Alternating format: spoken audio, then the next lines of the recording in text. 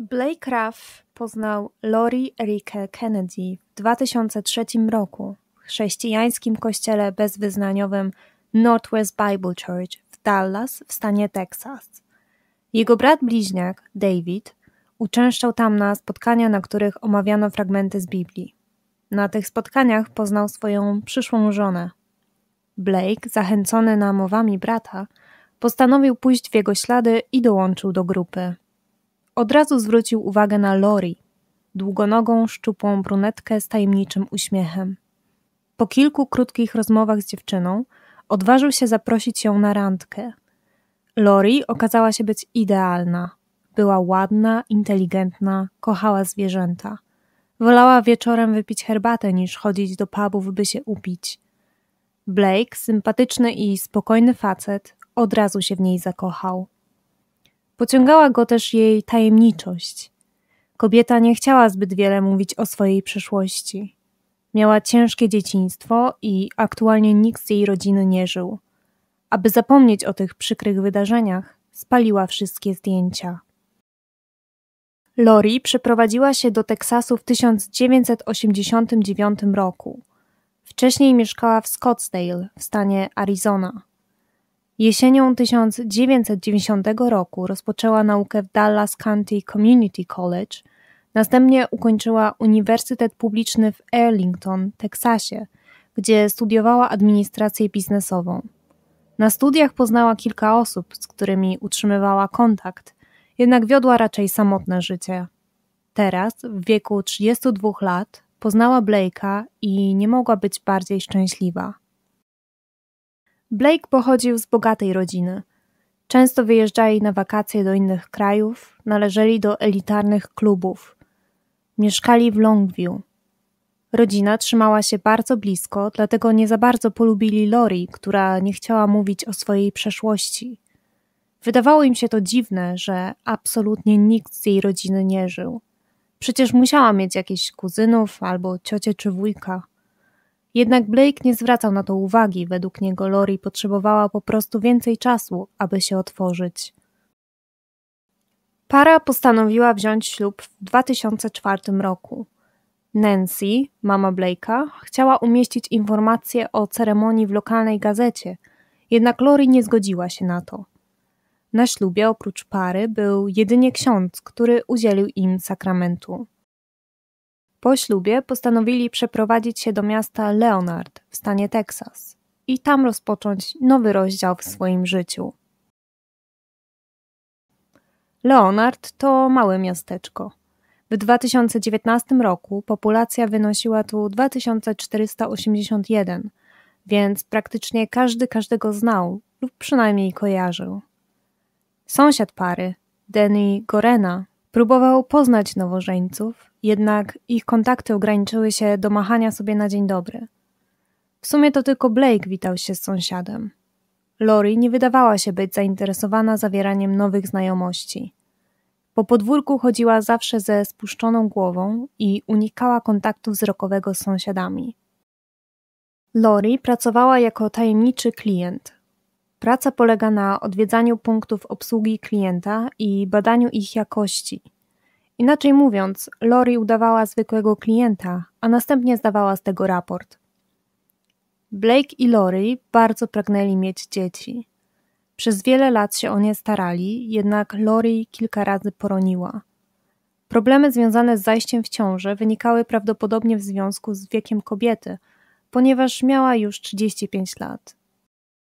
W końcu małżeństwo zdecydowało się na zapłodnienie in vitro, co zakończyło się sukcesem. Lori była w ciąży i w 2008 roku urodziła córeczkę, Jessikę. Po narodzinach dziecka Lori jeszcze bardziej zamknęła się w sobie. Nie widziała świata poza córką. Miała na jej punkcie chorą obsesję i była bardzo o nią zazdrosna. Nie lubiła, gdy ktoś inny ją trzymał na rękach, nawet Blake czy Nancy. Rodziców Blake'a to zaalarmowało, jednak on twierdził, że wszystko jest w porządku. W końcu, po jakimś czasie, Lori stwierdziła, że dziadkowie nie mają prawa w ogóle widywać się z wnuczką. Państwo Raff nie mieli pojęcia, dlaczego synowa tak się zachowuje. Blake po raz pierwszy nie zgodził się z decyzją żony. Nie mógł pojąć, dlaczego chce odciąć jego rodziców od dziecka.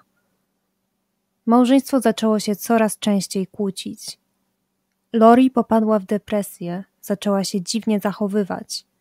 Była stale zamyślona, sporo schudła. Nie zwracała uwagi na to, co dzieje się wokół niej. W końcu przestała także dbać o córkę. Sąsiad zeznał, że Jessica wyglądała na wychudzoną i zaniedbaną. Denny pracował w kościele i zaproponował jej, aby wybrała się tam na poradę. Lori zgodziła się. Gdy rozmawiała z Denym, cały czas gwałtownie gestykulowała dłońmi, a gdy nic nie mówiła, badawczo się im przyglądała. Wyciągała dłoń przed siebie, obserwowała ją przez jakiś czas, wyginała pod dziwnym kątem i dopiero swobodnie pozwalała jej opaść. Lori często też siebie powtarzała. Gdy myślała o jakiejś rzeczy, potrafiła powiedzieć to samo zdanie z pięć razy. Denis stwierdził, że kobieta najprawdopodobniej cierpi na OCD, czyli zaburzenia obsesyjno-kompulsyjne. Osoby z OCD mają obsesję na powtarzaniu pewnych czynności. Bierze się to z lęku, któremu poprzez powtarzane czynności próbują zapobiec. Objawy mogą pojawić się na przykład na skutek traumatycznego wydarzenia. Takie osoby mają też stale natarczywe, niezbyt przyjemne myśli. Na terapię przyszedł też Blake oraz jego brat David. Blake był przerażony dziwnym zachowaniem żony.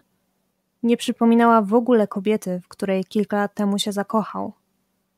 Nie chciała przyjąć żadnej pomocy i uparcie trzymała się swoich negatywnych myśli. W końcu Blake postanowił wziąć rozwód i przeprowadzić się z powrotem do domu rodziców. W 2010 roku, po sześciu latach małżeństwa, para rozwiodła się. Blake martwił się o zdrowie Jessiki, dlatego zabrał dziewczynkę ze sobą. Lori znowu została sama. Jej zdrowie zaczęło jeszcze bardziej podupadać. Cierpiała na ciężką depresję, stale traciła na wadze. Przypominała bardziej zombie niż człowieka. Próbowała jeszcze rozmawiać z pastorem z kościoła, do którego uczęszczała, jednak nikt nie mógł jej pomóc, ponieważ w kółko mówiła, że nie rozumie, dlaczego jej rodzina się rozpada. Zaczęła wysyłać e-maile do rodziców Blake'a, które zawierały pogróżki. Raz nawet próbowała się włamać do ich domu. Zbliżały się święta Bożego Narodzenia. Lori była w opłakanym stanie. Nie mogła znieść myśli, że będzie musiała spędzić ten czas bez córki i męża. Wsiadła do czarnego Chevroleta Tahoe i postanowiła pojechać pod dom państwa Ruff. Ze sobą wzięła strzelbę. Siedziała tak przed domem jakiś czas, aż w końcu podniosła broń i wycelowała ją w głowę. W końcu nacisnęła spust. Jej ciało odnalazł ojciec Blake'a, który rano wyszedł po gazety. W aucie znaleziono także dwa listy, jeden zaadresowany do Blake'a, a drugi do Jessiki.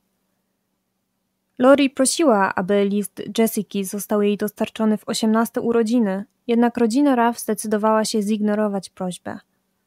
Mieli nadzieję, że może w środku znajdą jakieś informacje na temat przeszłości kobiety. Jednak oba listy były napisane dość chaotycznie. Stale pisała o swojej depresji, o tym, że nie rozumie, dlaczego jej rodzina się rozpada. Mimo wszystko Blake i jego rodzina byli zszokowani. Wiedzieli, że Lori ma problemy psychiczne, ale nie mieli pojęcia, że byłaby zdolna do samobójstwa. Blake postanowił pojechać do ich byłego wspólnego domu i przeszukać rzeczy osobiste Lori. Dom był w opłakanym stanie. Wszędzie stały brudne naczynia i garnki, po podłodze walały się ubrania i inne rzeczy. W końcu Blake zajrzał do szafy. Dostrzegł tam pudełko, które widział już wiele razy, jednak Lori za każdym razem zakazywała mu o nie pytać i je otwierać. Blake stwierdził, że musi zawierać jakiś ważny sekret i teraz po śmierci żony musi je otworzyć, aby dowiedzieć się prawdy. Blake poprosił policjanta, który był jego krewnym, aby pomógł mu z otworzeniem tajemniczego pudełka. W końcu po kilku próbach udało im się. To, co znaleźli w środku, ogromnie ich zszokowało. Znajdowały się tam liczne dokumenty. Każdy z nich zawierał zdjęcie Lori. Były to dowody osobiste i na każdym widniało inne imię i nazwisko. Znajdowało się tam też świadectwo urodzenia, jednak nie należało do Lori, a do jakiejś kobiety o imieniu Becky Sue Turner. Był tam także dokument potwierdzający legalną zmianę imienia. Wtedy Lori miała 17 lat. Becky Sue Turner urodziła się w 1969 roku w stanie Waszyngton i dwa lata później, w 1971 roku, zmarła w wyniku pożaru. W 1988 roku Lori, która wtedy nosiła imię Becky Sue, zmieniła legalnie imię na Lori Erika Kennedy. Oznaczało to, że nikt nie znał prawdziwego imienia tej kobiety. Rodzina Raff postanowiła zatrudnić kilku prywatnych detektywów, aby dowiedzieli się, kim tak naprawdę była kobieta, którą poślubił ich syn. Głównym prowadzącym został Joe Welling, który pracował dla administracji ubezpieczeń społecznych. Zaczęto podejrzewać, że być może była szpiegiem dla KGB, czyli Komitetu Bezpieczeństwa Państwowego przy Radzie Ministrów ZSRR. Brzmi to nieprawdopodobnie, jednak jakiś czas temu szpiedzy mieszkali w Ameryce i prowadzili z pozoru normalne życie. Zmiana imienia oraz ukrywanie swojej prawdziwej tożsamości to poważne decyzje, więc musiał być ku temu jakiś powód. Spekulowano, że być może była ofiarą handlu ludźmi. Gdy szukano jej w bazie danych w Stanach Zjednoczonych, nie było żadnych wyników. Mogło tak być dlatego, że dziewczyna pochodziła z innego kraju. W końcu udało jej się uciec przed porywaczami i ze strachu przed złapaniem zmieniła swoje imię oraz próbowała wymazać swoje dane z przeszłości. Dlatego na przykład zabroniła Nancy powiadamiać gazetę o jej ślubie, ponieważ nie chciała, aby jej imię zyskało rozgłos. Poprzez swoje traumatyczne przejścia bała się o swoje dziecko i dlatego miała na jej punkcie obsesję. Nie chciała jej dawać nikomu, ponieważ bała się porwania. Inna teoria twierdziła, że być może kobiecie udało się uciec z sekty. Mogła należeć do kultu rodziny Le Baron. Rodzina utworzyła kolonię Le Baron, gdzie praktykowali poligamię. Później kolonię przekształcono w kościół, którego pełna nazwa to Kościół Pierworodnych Pełni Czasów. Członkowie popełniali wiele przestępstw, na przykład kradli samochody czy zabijali swoich przeciwników. Ktoś stwierdził, że Lori przypominała Jacqueline Le Baron, która była jedną z żon Erwila Le Baron, jednego z przewodniczących kultu.